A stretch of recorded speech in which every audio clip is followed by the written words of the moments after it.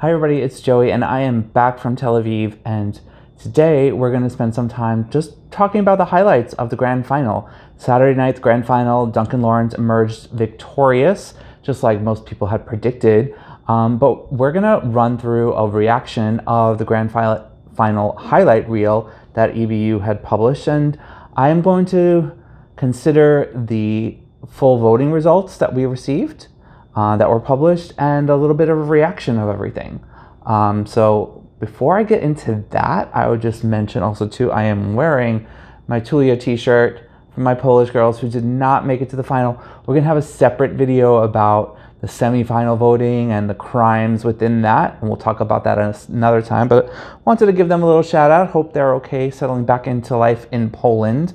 But um, without further ado, I'm gonna get back into um, checking out this video. So um, hang on one second.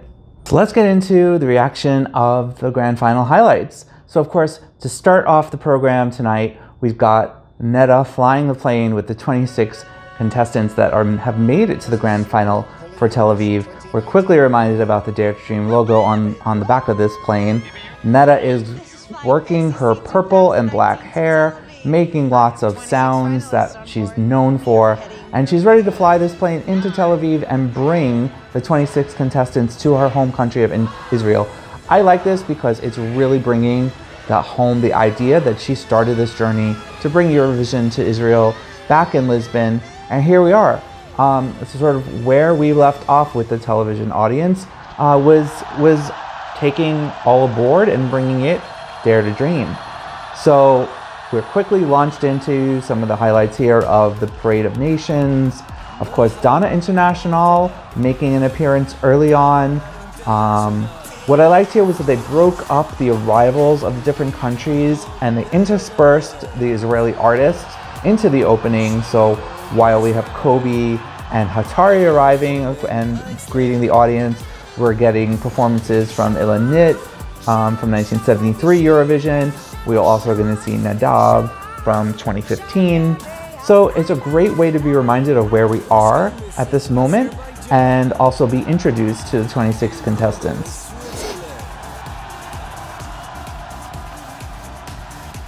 We're keeping the theme here of the of the airport. I know a lot of people had trouble at the airport in Israel, so I don't know if maybe they should have rethought that. But um, Golden Boy really making its way back into popular culture with um, I, I, need to show you Tel Aviv um, before I leave. Um, probably was a fantastic week for Nadav, probably the best week he's had um, around Eurovision since his participation in 2015. So get a look at our hosts. Um, I didn't really feel like they were necessarily a highlight of, of the program. Um, but what was a highlight was having Malta open this show. I think um, this was great for Michela because even though it didn't set Malta up for a great result necessarily. It was prestigious. People are going to remember this as starting the party. Um, I'm really happy for Malta. It is going to be a great day when they finally do win Eurovision.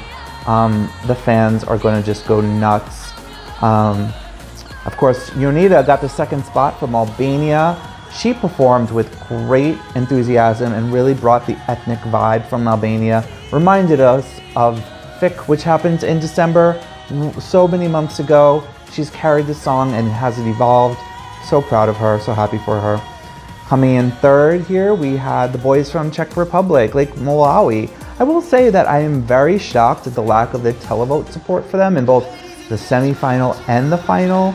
Um, looks like they really carried the the jury vote, and that's what got them as far as they did. And um, good for them. I'm really happy with the direction Czech Republic's going. Of course, Germany um, zero points from the televoting audience, and some of the jury votes that they received were actually in error from Belarus.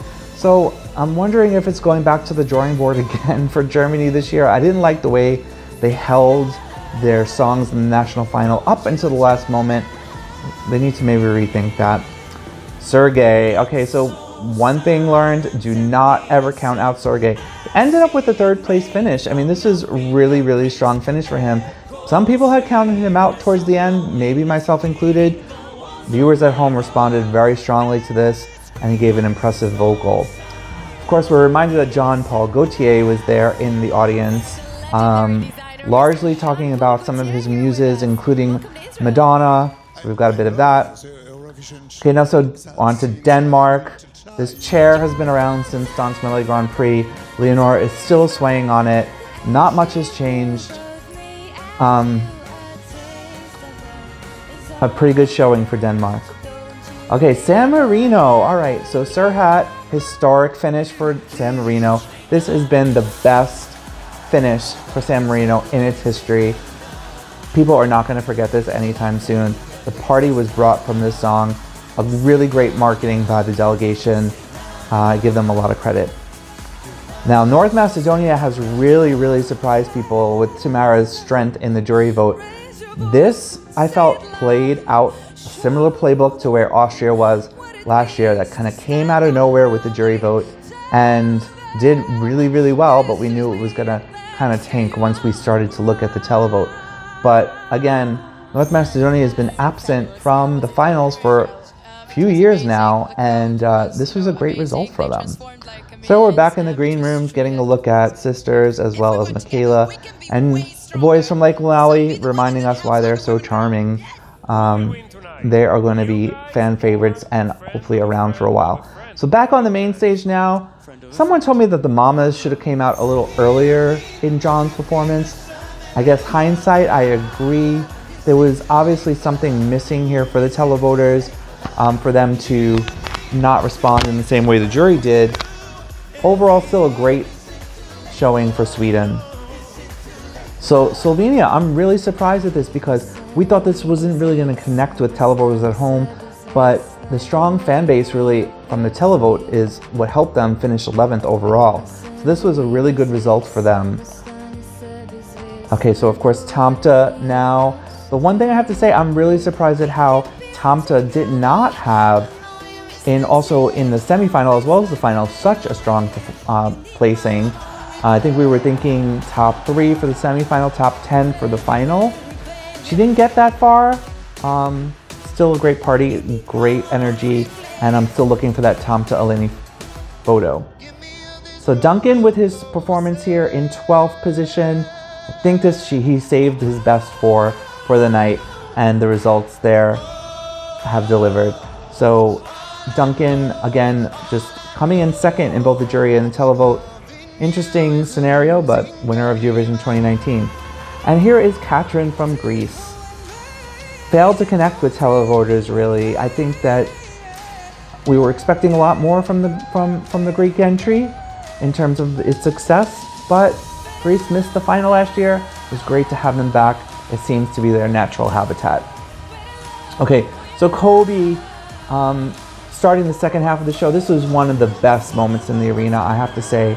Watching him play to his hometown crowd, seeing the genuine reaction and how excited the Israeli people were to have this event happening in their home and have Kobi as their representative. It was really beautiful. It definitely elevated the performance and the song. Coming up after Kobi, of course, was the televoting winners, Hey Now. I am so happy for Tom and um, Fred and Alex. They have worked so hard. This has paid off for them. I'm so glad that the fans have placed them at the top pole position in their voting. It really, really is a wonderful story. Who doesn't love Hey Now besides the Jories?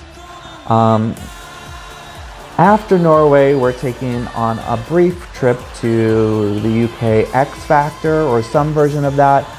UK, of course, finishing in 26th place with a John Lundvik pen song. Do not try to blame John for this. We got to figure something out, UK. You got to be able to do better. Sorry about that.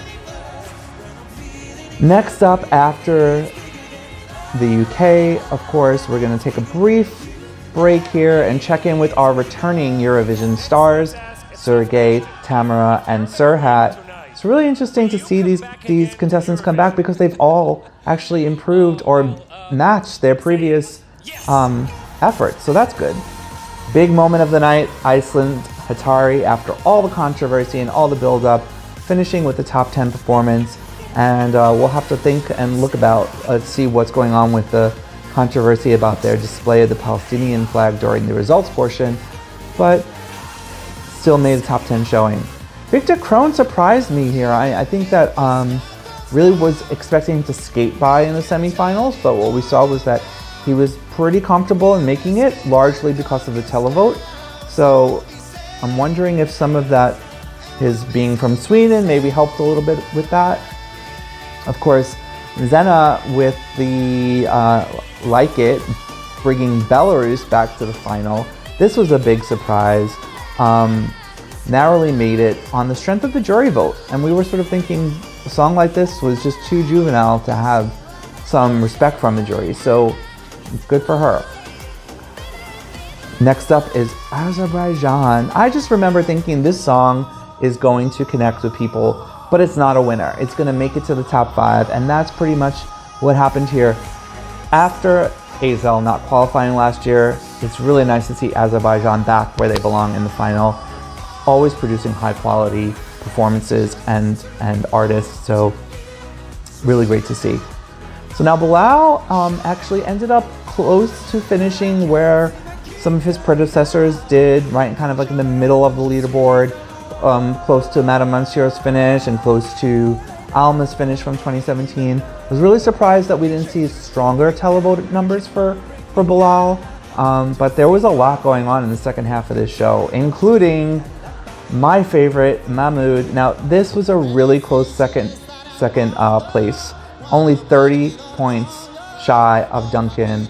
Italy have a lot to be proud of. I mean, Mahmood started out in Sanremo Giovani, winning that, bringing it to Sanremo, winning Sanremo, now finishing as the runner-up in Eurovision 2019. Just a really proud moment for the Italians.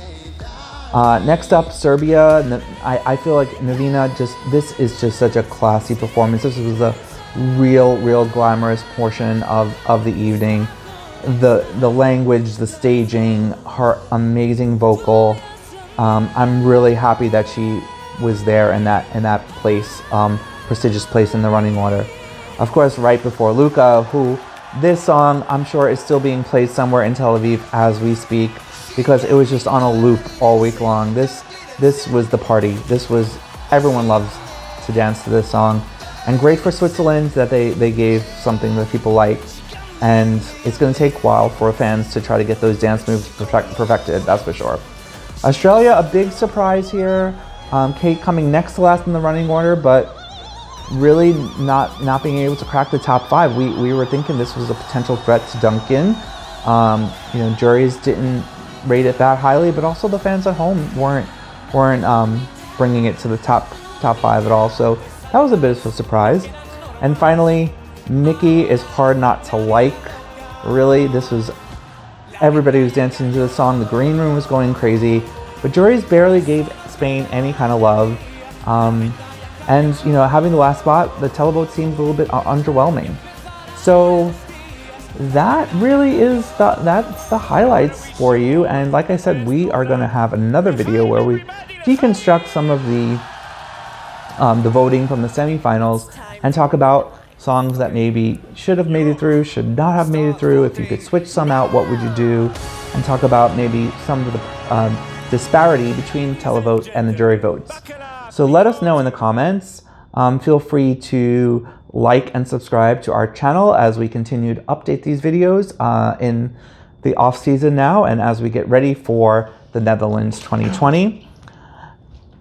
And thanks for watching.